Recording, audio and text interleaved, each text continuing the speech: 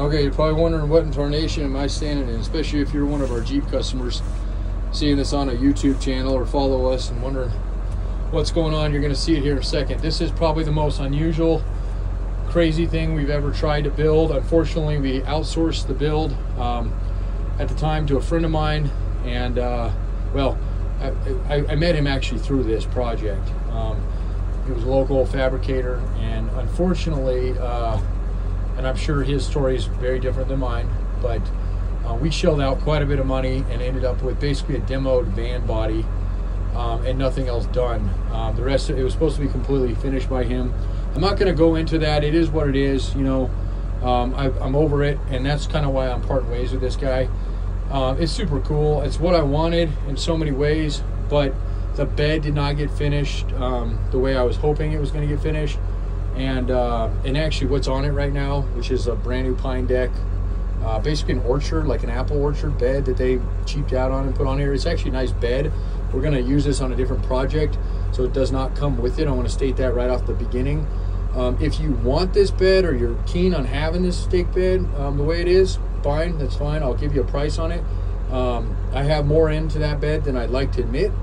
And so I like to see that go on to uh, one of my employees' builds that they're doing. But if it's something you have to have, like I said, it's not included in whatever this auction goes for. This is going to be a no reserve auction.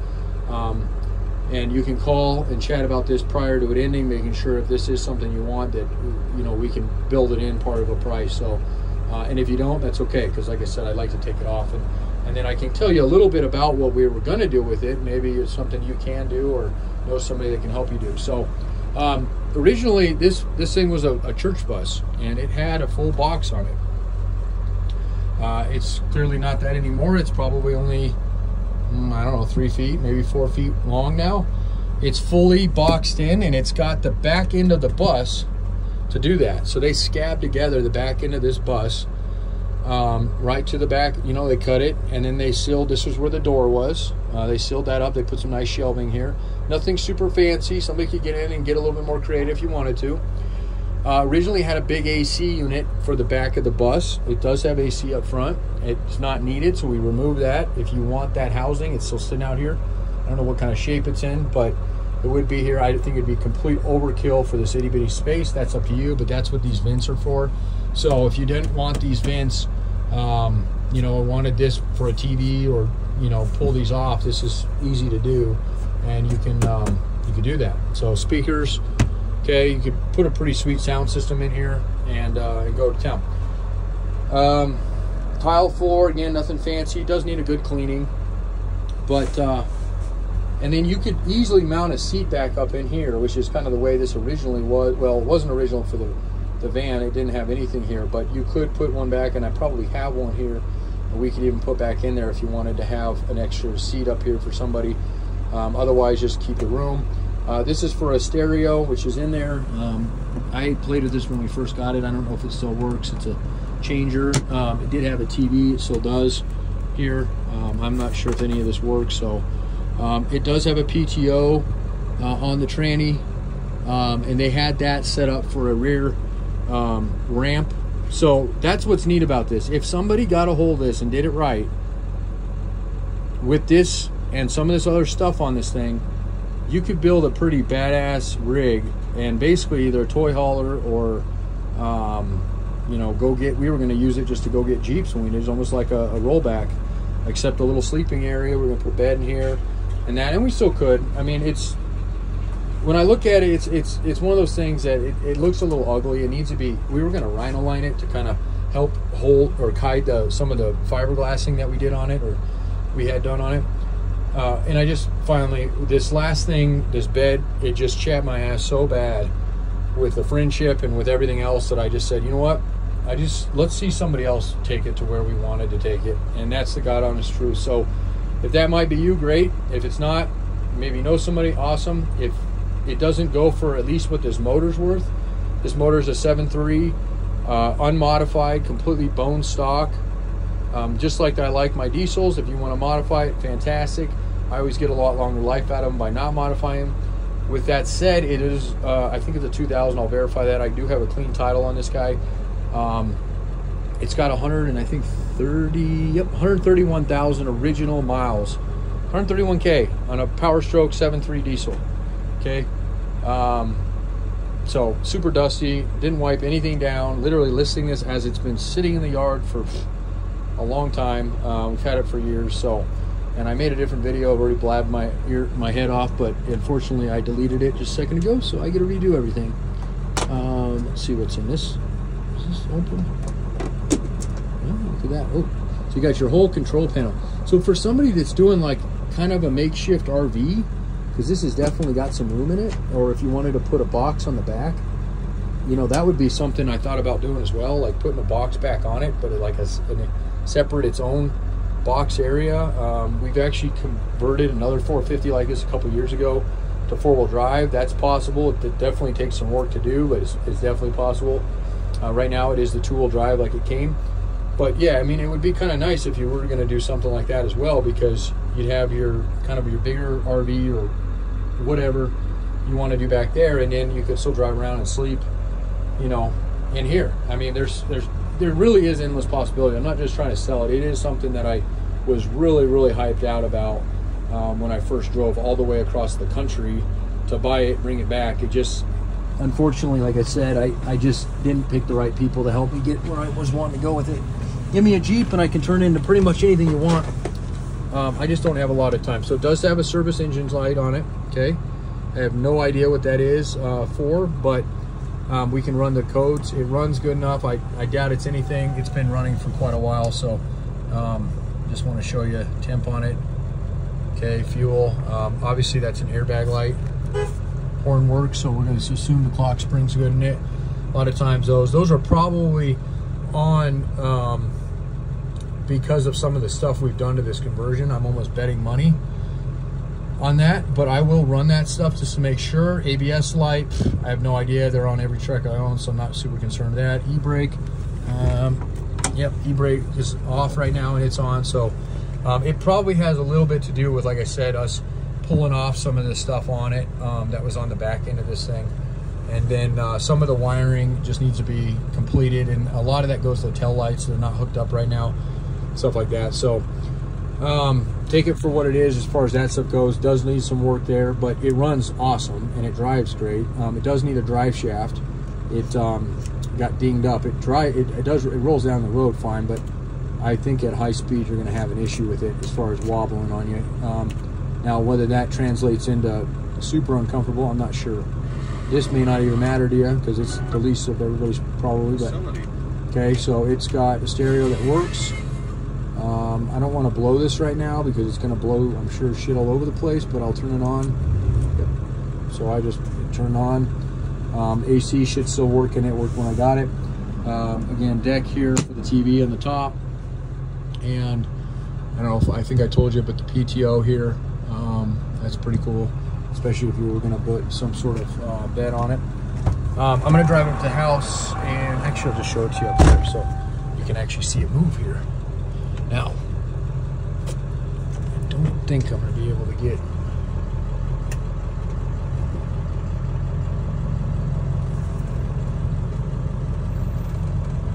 So we're going in reverse if you can't tell.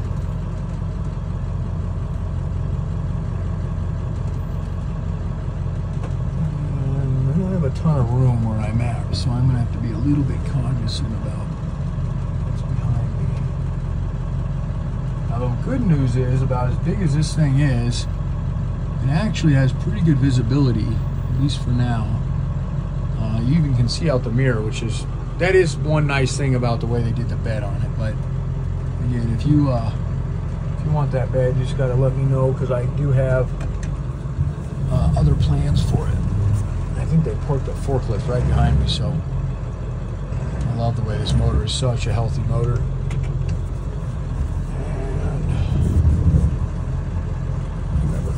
Right there. You're going to be able to get around without bumping into the thing. Box myself in here. Turns great. I mean, for being a these van chassis actually turn pretty well. Um, they have a little bit tighter turning than the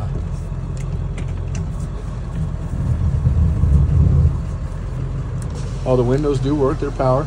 How far? That it looks. That forklift looks a little close. Do I have? You'll be a spatula? Yeah, if you don't mind. See Kevin, get Kevin back there. I can't see you, Kevin.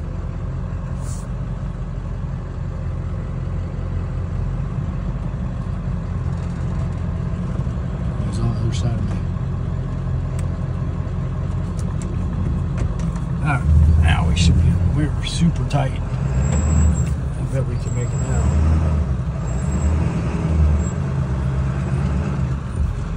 Um, when I tell you how long this thing sat, I'm not kidding. This thing has sat in this yard for almost five years in the process of doing the project as well as I think we got it, man. So it's uh, you know, the brakes are a little. Thanks, buddy. They feel great, but they're I'm sure they're flashed over. So that'll come off just in the going up the hill, I'm sure. But it should sound a little better by the time we get up there as far as brakes go. But they're a little squeaky. ton of power, just like it. I mean, obviously, I'll, I'll give a little bit here. We're in a dirt lot, so. so she gets up, you know. I'm not flooring it out on the highway, obviously, so. But more than you'd expect, I think. I'll get some photos of it and get it listed. Uh, I'm gonna try to get it up tonight. I usually like to list on Sundays, but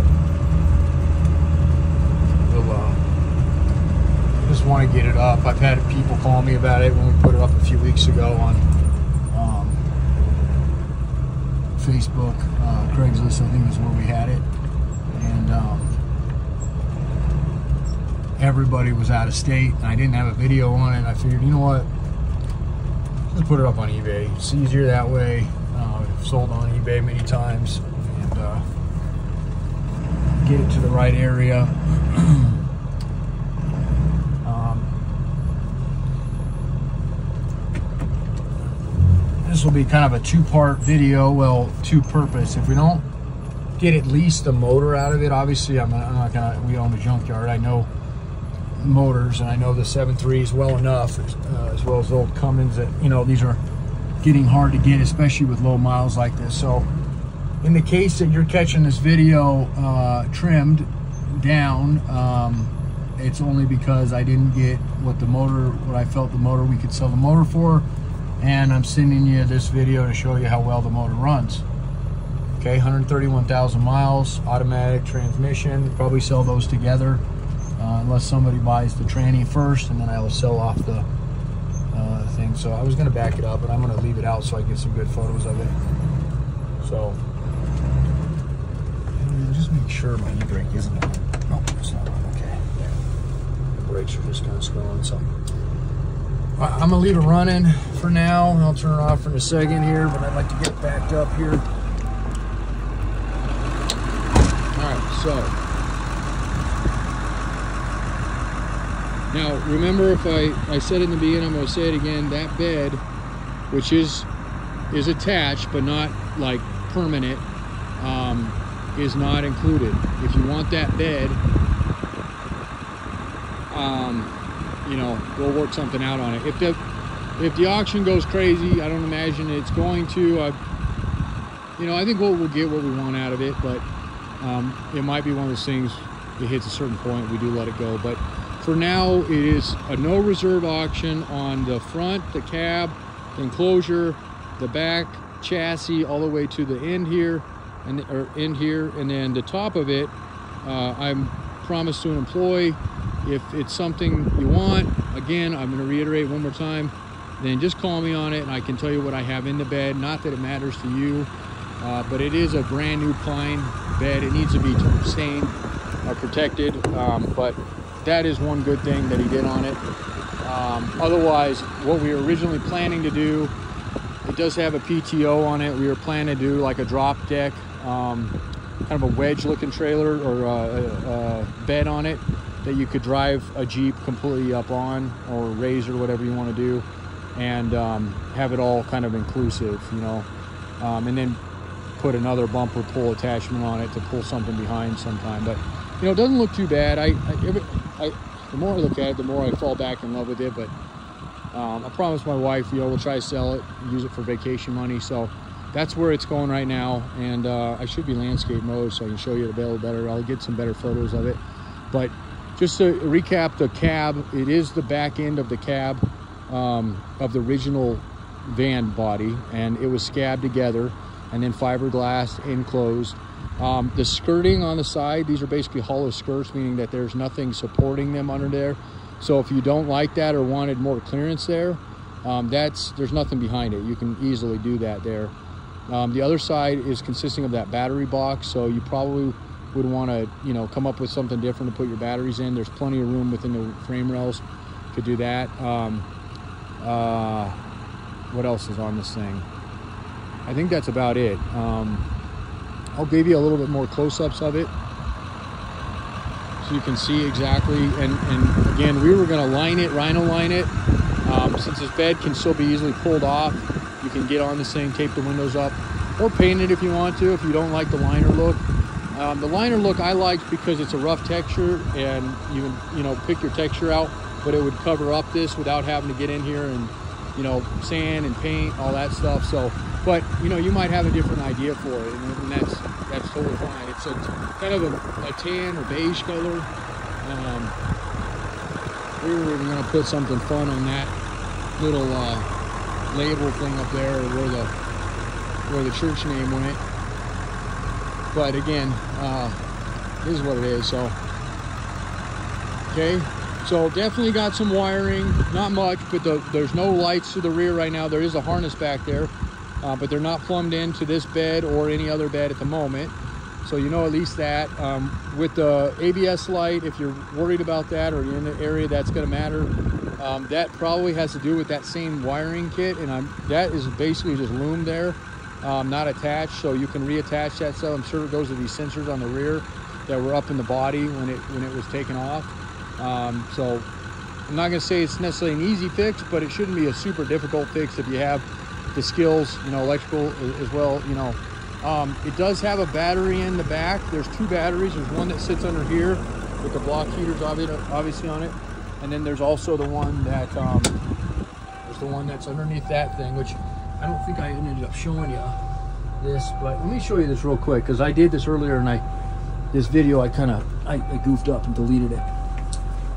Butter So I'm six foot three, okay? And I got about two inches before I'm hitting. And I'm not in the center either. I'm in on the side over here. So this from this corner here all the way over, there's six foot five, six foot six inches of room in here. More than enough room to stand up if you're even a tall guy like I am. And if you're short, you have even more room. So um, the windows open, or they do as they should. Um, this one obviously didn't have the window. This had the door in it originally. We have a seat we can help you out with, I believe, or get you some kind of seat out of the yard, I'm sure, if you want to have a passenger in this thing.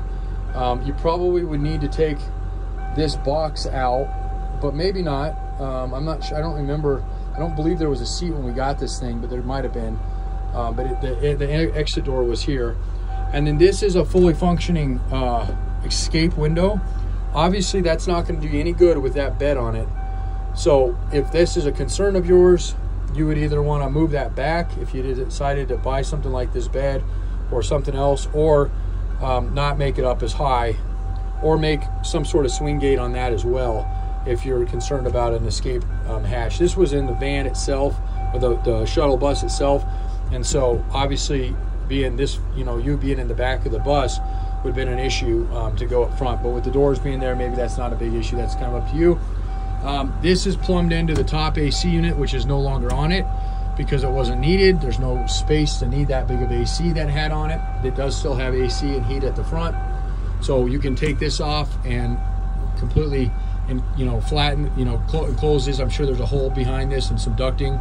Um, so you can fill that in if you want, or maybe put something else there, or put another RV uh, system and plumb into there. There's there's millions of possibilities there. It's got the speakers, which I'm sure they're plumbed in. I turned it on earlier, the, the TV. I have no idea if that works um, and whatnot. And then, of course, the shelves. And then here's the battery box. So um, originally it did have a battery box in this similar, well, it wasn't here. It was underneath. These are the steps you can see. So the guys just thought it'd be kind of cool to have a battery box where these steps were and kind of fill this area in. Um, this is totally strong enough to stand on. So it's got that battery. You can have another battery here. Uh, throw some solar on top. That was original plan. And then it's got the battery up front as well. And I'll open that hood and show you that real quick. Um, let me get a couple photos of the inside of this thing real quick. I know it hasn't been cleaned up in here. Uh, still got a lot of the sawdust and stuff on it, but I don't know if that's taking pictures or not. I might have to get back in this thing.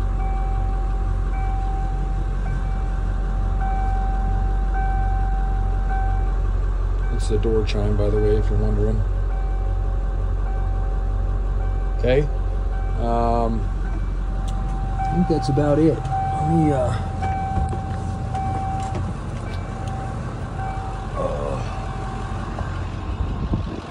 pop this hood. It must be already popped.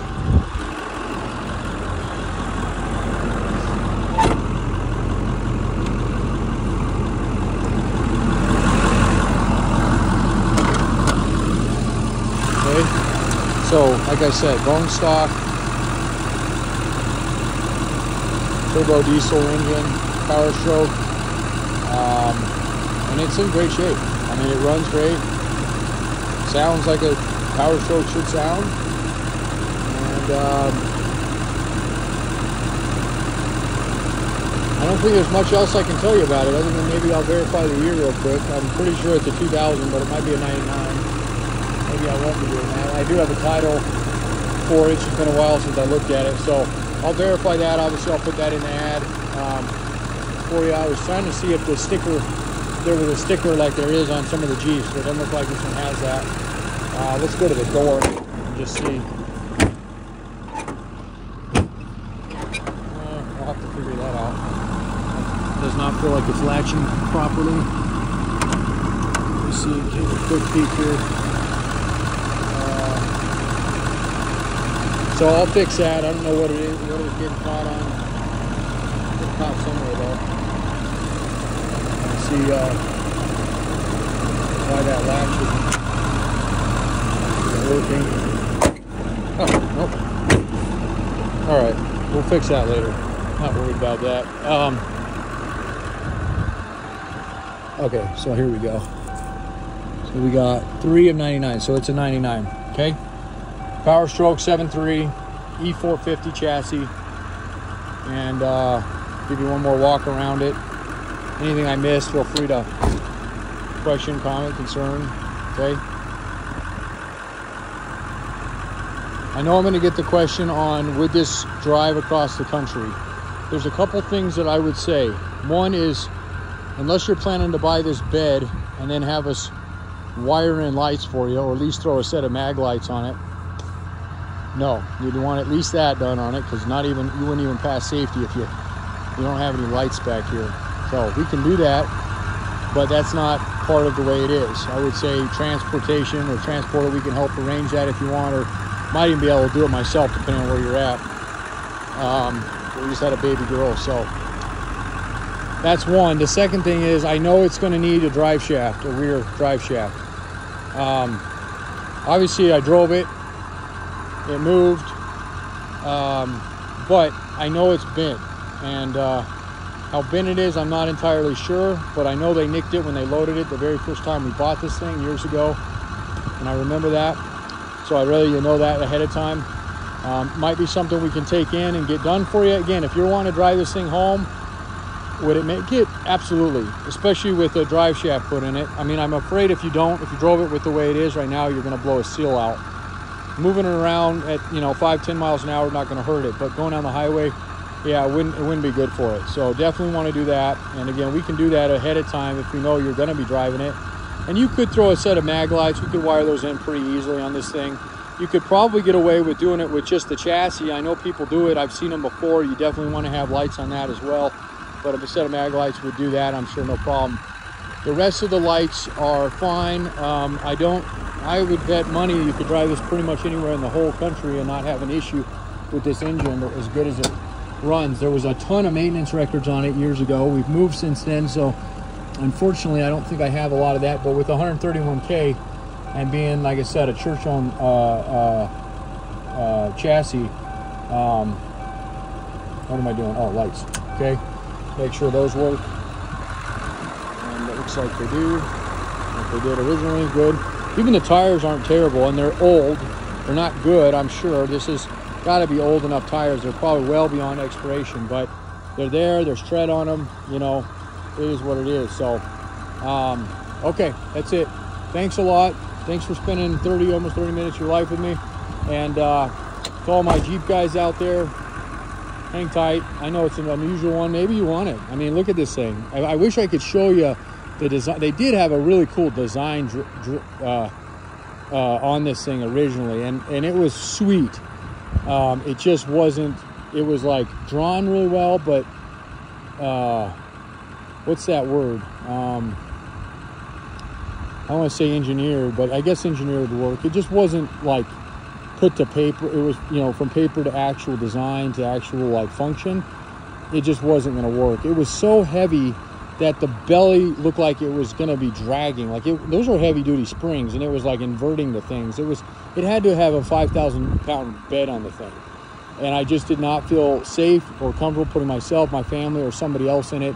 And so we just, I said, screw it. Let's just get a bed. But we're going to do a better one. This is just an orchard bed, probably from around here. We have a lot of orchards around here, and that's what it looks like to me. So he cheaped out there, but um, nonetheless, we can use it for something else and and hopefully maybe you're a fabricator or welder or know somebody that is because it wouldn't take it much. Look, line the thing, get rid, you know, coat that so it's not so, you know, um, raw in a way looking if you want, or keep it or keep it the way it is. Who, who knows? And then, you know, throw some paint on the frame, uh, get that nice and shiny, and then build a build a, a wedge deck or, or something to, to tow a Jeep. It's long enough and it's got the the capacity to, to throw a jeep on it. I know that this capacity is well enough to hold a three four thousand pound jeep, maybe more.